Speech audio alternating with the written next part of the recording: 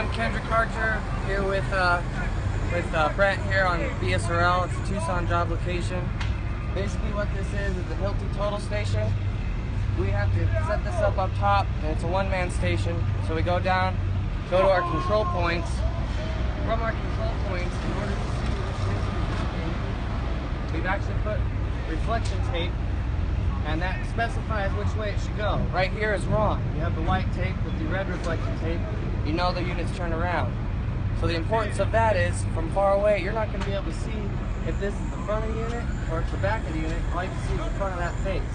So, flip this around to the right side.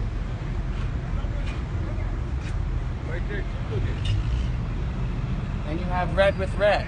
That is correct. You go to the front side.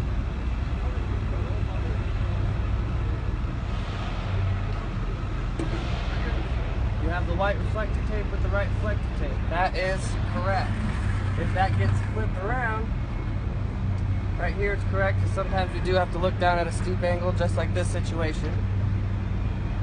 But you keep going with it. And if that gets flipped around,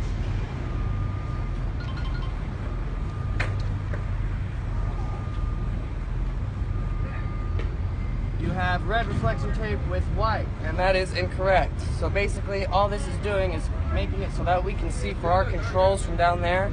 If we don't have a scope or if it's low light, all we do is shine our headlamp at it, gives a real strong reflection in the night, and we know which way that it's facing and that the face of the lens is facing the correct direction.